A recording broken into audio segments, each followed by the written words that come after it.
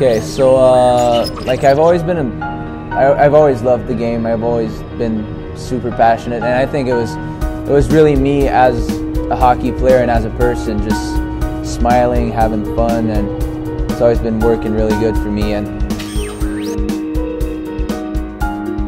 uh, coming uh, after my uh, my midget year, my second year, uh, didn't have a good year. Like couple like issues with coaching staff and stuff like that. Like I've never been a bad kid, but like just like being an offensive player, like I was wasn't really focusing on my defensive game and stuff like that, and he really trying to break that, and he absolutely broke me, kind of.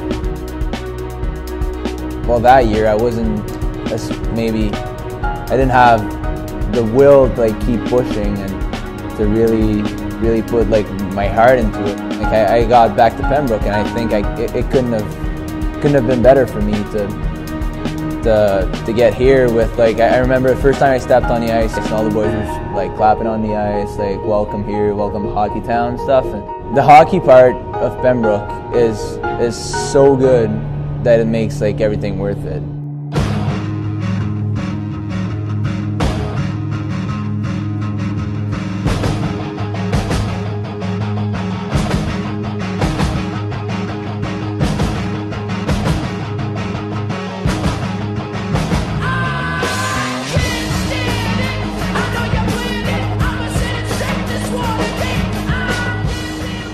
the love of the game that the fans have. Everybody knows who we are, and like when you're on the ice, like they know who you are. I really started to get like to have fun playing hockey again. They're just great fans. Like everything about hockey, like the the the, the culture, the winning culture here.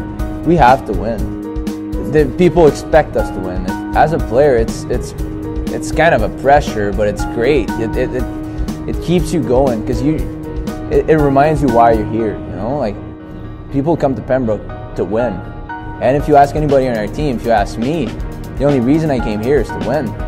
Like it was a no-brainer for me when he called me. He's like, uh, "You want to be a Pembroke Lumber King?" I'm like, "Well, yeah, like for sure." Like, like my first game I played here, I was so fired up.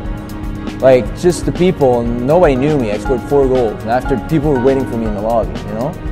But just the to have a taste of it in junior hockey, I think it's it's it's amazing, and it brought me back to just having fun and being me, being the guy that, that smiles after he misses a shot.